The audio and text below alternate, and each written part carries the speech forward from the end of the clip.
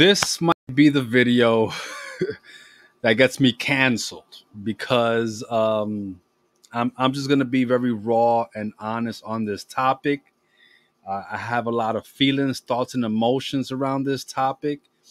And although I'm speaking specifically today about about diabetes and a diabetes diabetic diet, uh, what's the right diet for someone that's dealing with type 2 diabetes you know what i'm going to say applies to a lot of inflammatory and metabolic diseases.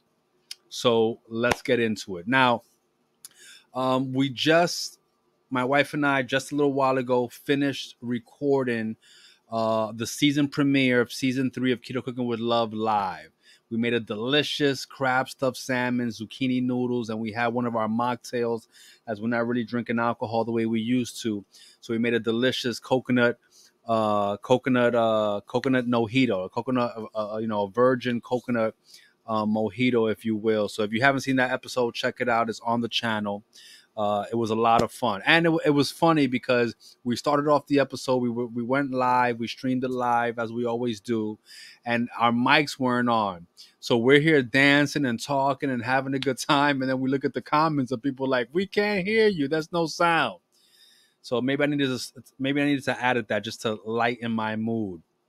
But shortly after the episode, my wife and I were sitting on the couch, we are resting, we were relaxing, we you know we cleaned the kitchen, we put food away, everything is good, and I get a text message right from someone who will remain nameless, but this is a person who who is uh, literally a family member of mine, someone who is very very near and dear to my heart, me and my wife, someone who we love love immensely and um, we get a text message. I get a text message from this person, and the text message pretty much says, "Let me look at my." I could paraphrase, and I will paraphrase, right? But this is what they wrote to me. They said, "Hey, love." Can you talk about type 2 diabetic meals? They said, Yes, I'm, uh, I'm a type 2 diabetic right now uh, you know, I'm not going to mention the specifics of, of their situation, but they they they were recently dealing with a very um, you know traumatic experience in their life, and that uh, situation kind of caused them to go into this down uh, downhill spiral of, of eating unhealthy, right? Of like you know indulging in comfort food, which is which is you know I've been there. I have definitely been there. This is one of the things that fueled my journey into you know to becoming a keto master chef. I mean i was already a chef you know now i do keto so i am the keto master chef. But it also one of the things that really fueled me to to change my life and and get my health in order. Then they went on to say that they started using um Trulicity and that their numbers are good but they're dealing with a lot of quizziness and and they're almost scared to eat. So you know, I, I, I was, I, at first I said to them, all right, great. You know, thank you for the question. You know, next week's episode, I'm going to dive into that, you know, um, in depth. But then I thought to myself, you know, like this is kind of why we do what we do, you know, uh, our goal, and uh, you've heard me mention it, is to help people improve their health, right? Like, you know, of course, a lot of times we're motivated by losing weight. Like I was motivated by losing weight and getting healthy. A lot of times people follow us or or do our programs. You know, many of our students come to us because they want to lose weight, but you know, being being overweight or being obese is is not just a physical condition, it is actually the byproduct of being unhealthy.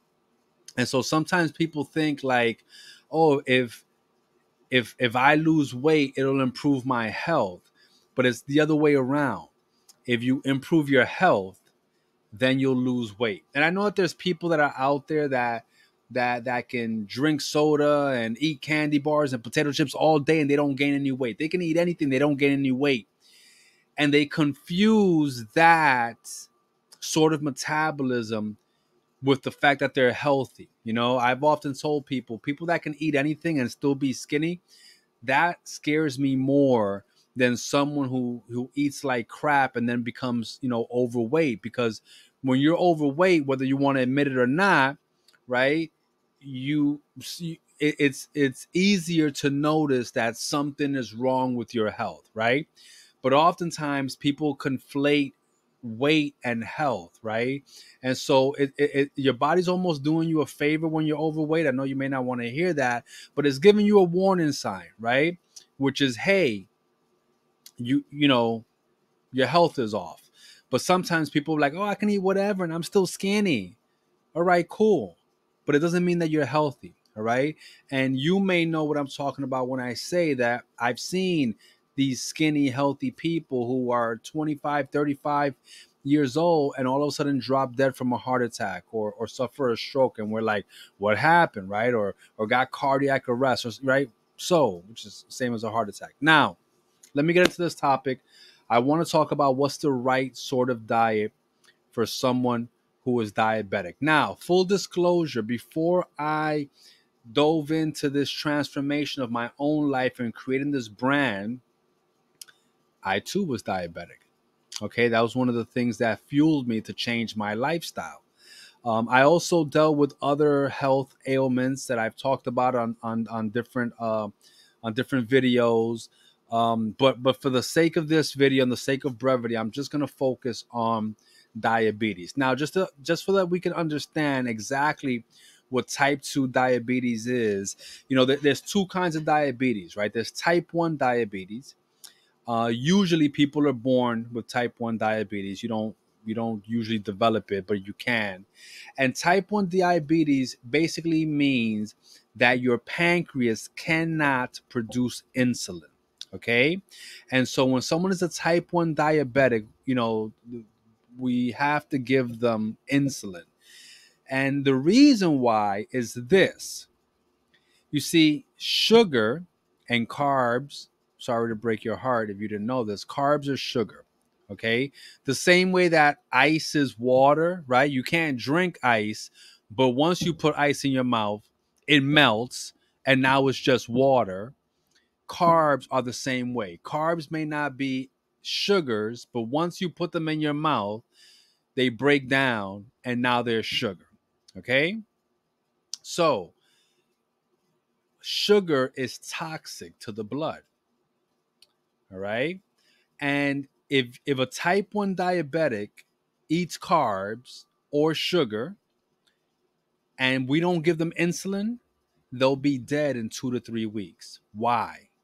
Because sugar is toxic to your blood and your body. Sugar will kill you in two to three weeks if you don't have insulin. So, a type 1 diabetic is someone whose pancreas cannot produce insulin. And so we have to give them insulin, otherwise, they'll be dead in less than a month. Right. I say that I'm starting off with that because people don't realize how bad sugar is for you.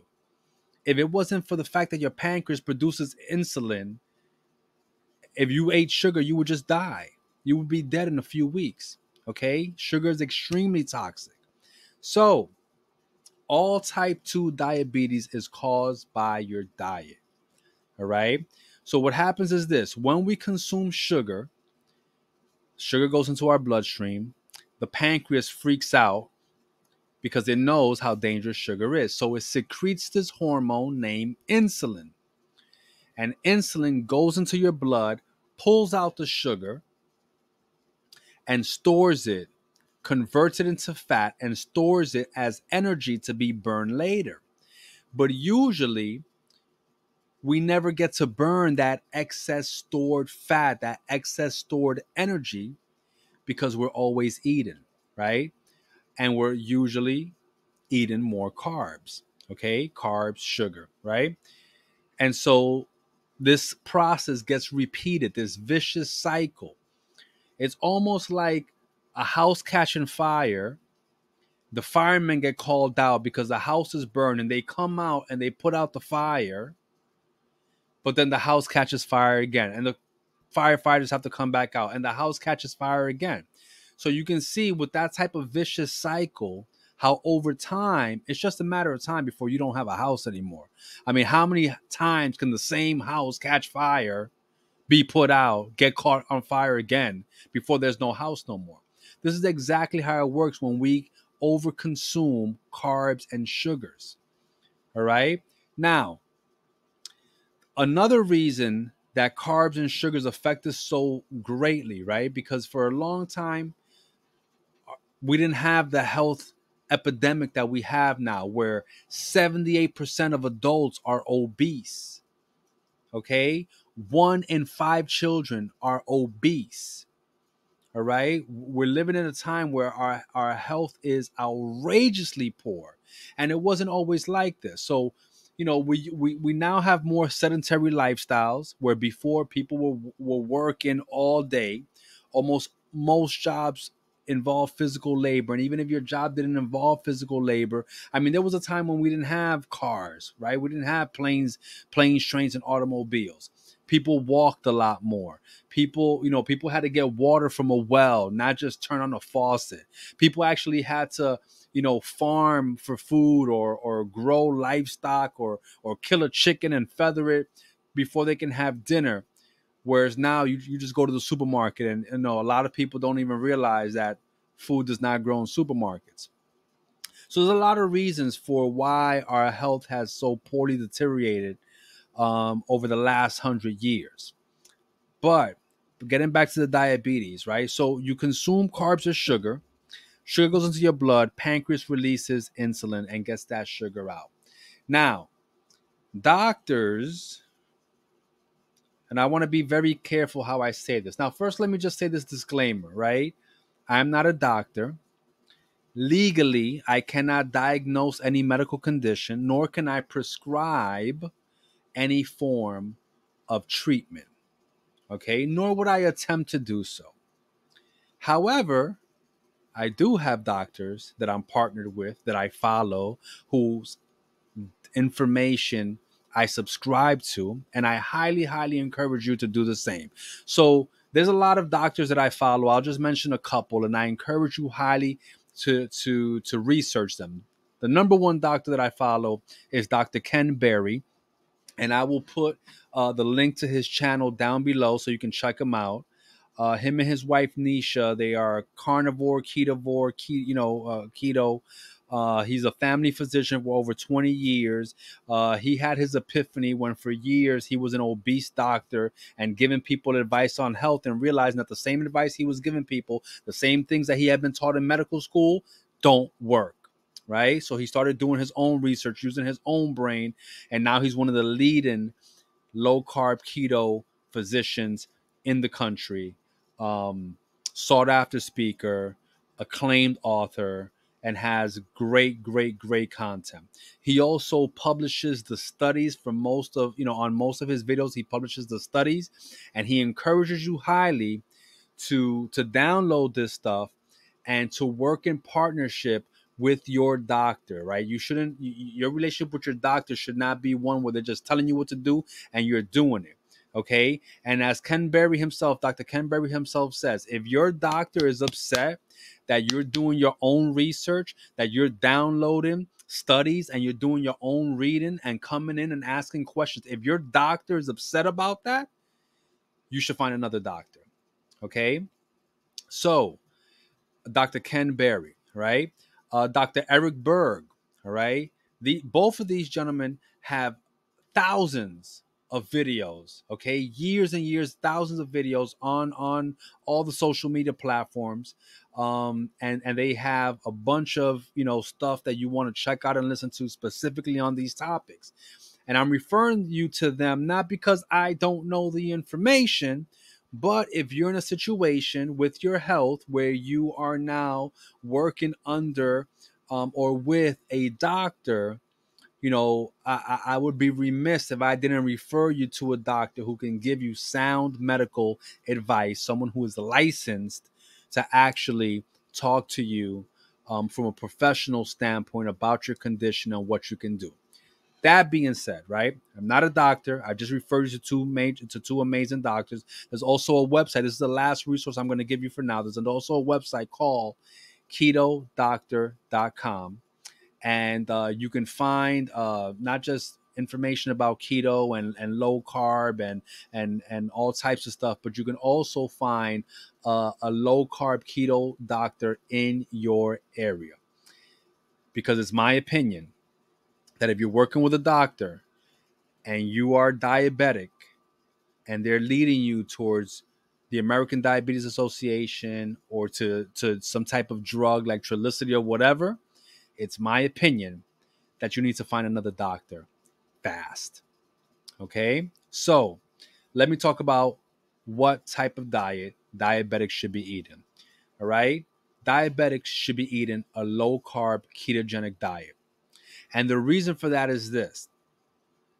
As I mentioned, when you eat carbs and sugar, it goes into your bloodstream. Carbs and sugar is toxic and it will kill you in a matter of weeks if your pancreas does not produce insulin.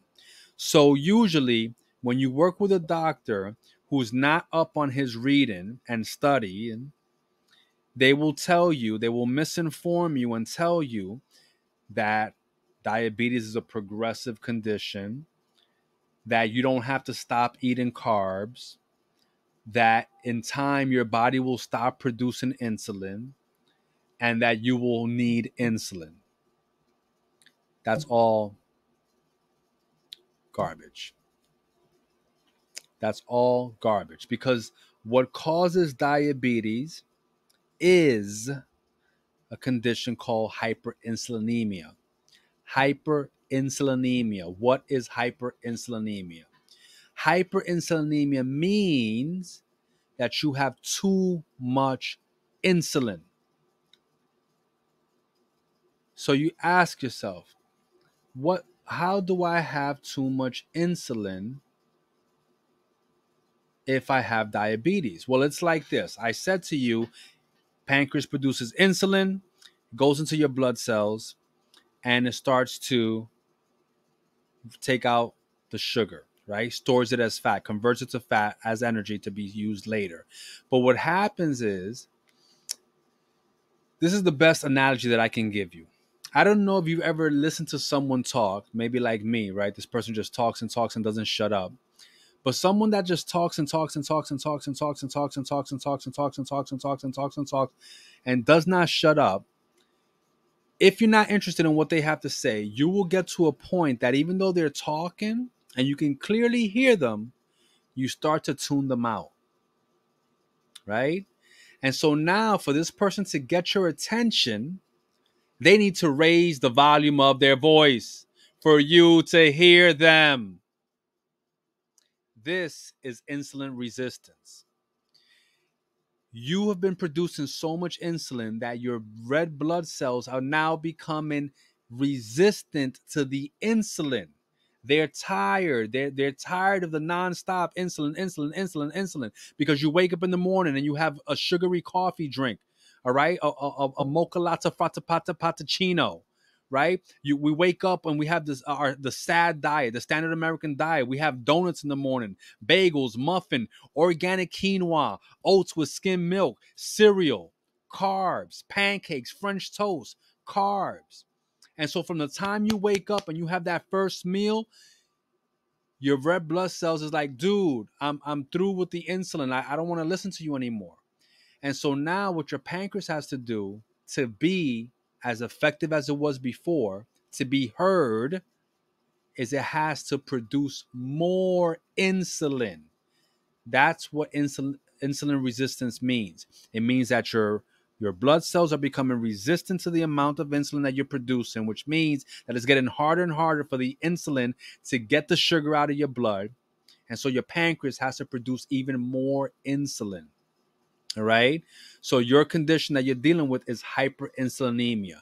And for anyone who's diabetic, chronic kidney disease, high blood pressure, uh, PCOS, plantar fasciitis, arthritis, erectile dysfunction, on and on and on and on. Any inflammatory condition that you're dealing with is a result of hyperinsulinemia.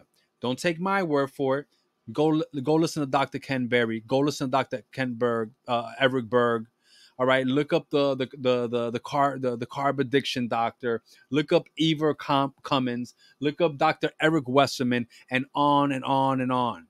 There's plenty of doctors in the keto community who are shouting from the rooftops, but unfortunately, they haven't been able to shout loud enough yet because big pharma and big food got a lot of money. And that's why I said at the beginning of this video, I hope this is not the video that gets me canceled because I'm giving you the truth. So, what do you do? How do you eat? If you're diabetic or you have any of the conditions that I just mentioned, you need to get on a low carb keto diet immediately. I'm going to tell you right now drugs are not the answer. If you have a doctor who is leading you towards taking some type of drug, you need to find a new doctor. All right. So, what is keto? What is low carb? Let me preface by saying this every baby that's in a mother's womb every baby that's in a mother's womb i don't care what you what the mother is eating she could just be eating doritos and drinking mountain dew every baby in the mother's womb is in a ketogenic diet don't believe me go to dr google the reason for this is that 90% of your body is made up from fat every cell in every atom of your body is made up from fat. Your brain is 90% fat. And we've been taught in school and health education, blah, blah, blah. Oh my God, you need carbs. Carbs is the is a is the body's preferred form of energy. This is not true. Now, it is true that in the presence of carbs and the presence of fat, the body does prefer carbs. But that's not the same as saying that your body needs carbs. We have essential fatty acids, which are fat. We have essential amino acids, which are protein, meaning that you need these or you die. You need fat, you need protein. There are no essential carbohydrates or sugars the amount of carbs that you need is about 7% of your entire caloric intake.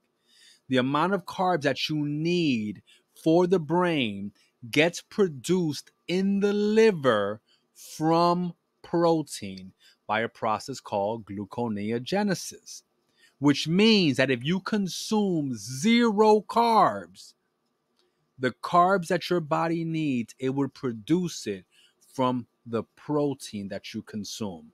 Nobody, and I can't say this strongly enough, nobody needs to eat carbs. Period. So, someone that's on a eh, eh, that, that's dealing with type 2 diabetes and like i said type 2 diabetes is caused by your diet it's caused by over consuming high carbs highly processed foods you want to be consuming proteins of your choice. So if you don't eat pork, you don't have to eat pork. If you don't eat fish, you don't have to eat fish. If you don't eat chicken on the bone, you don't have to eat chicken on the bone. But whatever proteins you consume, chicken, fish, shellfish, you know, pork, lamb, beef, eggs, the yolk, everything. You want to be consuming the now if you're someone who's a plant-based enthusiast, there are keto, vegan influencers out there. You might be better served to follow them. I'm not plant-based. I love meat. Okay, pork is my favorite vegetable. So if you're looking at this and you're like, "Oh, I don't eat meat," yeah, all right, great, great. There's plenty of people that do that. I'm not the one. Okay, I'm not the one. All right. Just go Google, go on YouTube, search vegan keto, and you're gonna find a bunch of people who do that. I don't do that. All right. I don't do that. And if someone asks me questions about it, I'm just gonna refer you to somebody else. All right. Because I'm not gonna sit here and purport that I know all of these things about a, a lifestyle that I don't subscribe to. Okay. I eat meat. Pork is my favorite vegetable. Okay. A lot of my clients and students don't eat pork, and I still help them. They eat chicken, they eat fish, they eat beef, they eat other things. Okay. So you need to be eating the proteins of your choice, animal proteins. Okay. You need to be consuming low carb vegetables. All right. So leafy greens, spinach, kale, collard greens, turnip greens, mustard greens, low carb vegetables, broccoli, cauliflower, cabbage, Brussels sprouts, asparagus. Okay. And on and on and on. Low carb vegetables. Just Google low carb vegetables. All right. Zucchini. And consuming healthy fats. All right. Most of the fats on the market are processed, refined, treated, chemically treated, extremely unhealthy. So you want to avoid at all costs unhealthy fats. And I'm talking about canola oil, corn oil, vegetable oil, grapeseed oil, soybean oil, peanut oil, safflower oil.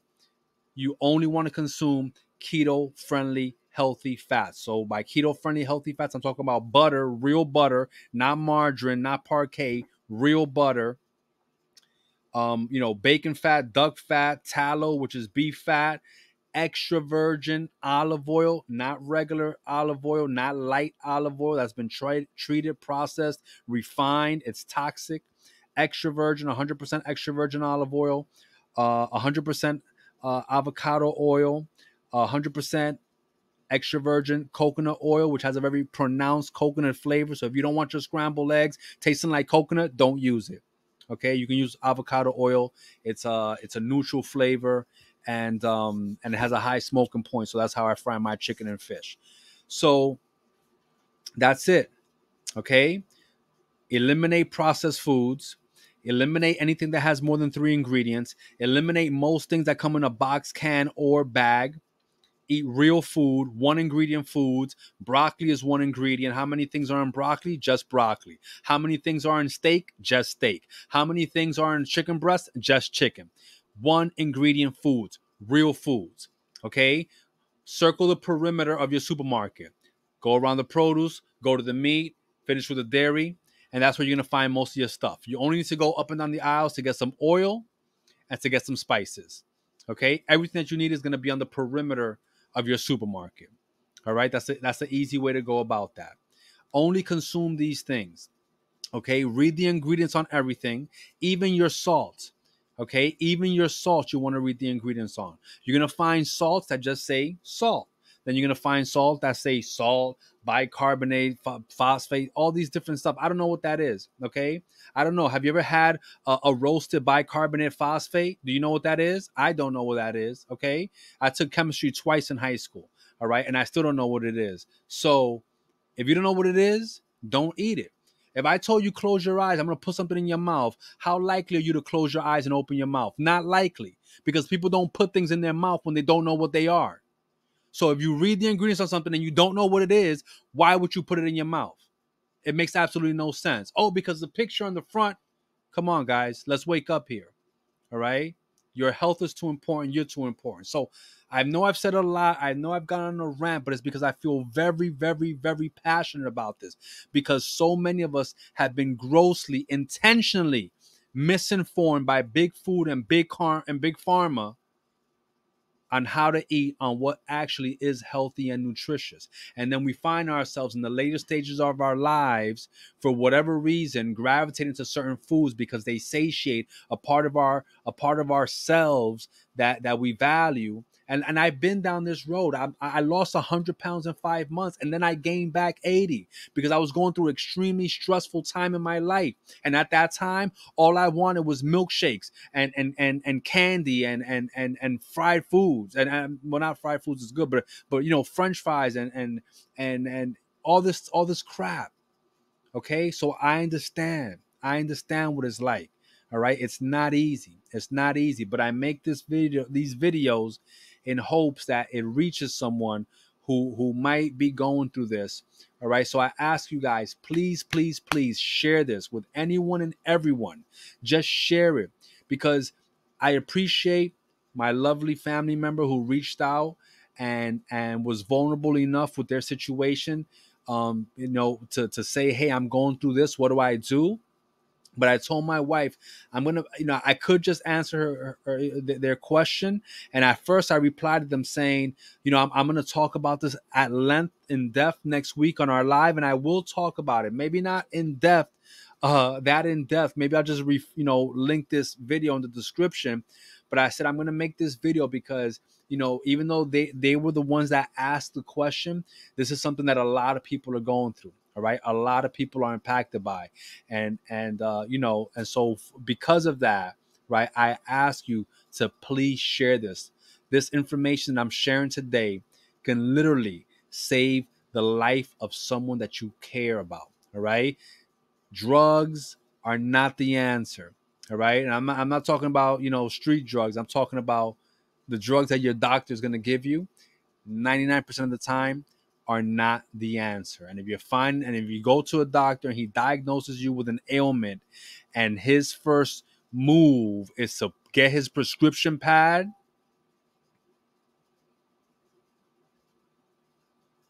I would start looking for another doctor.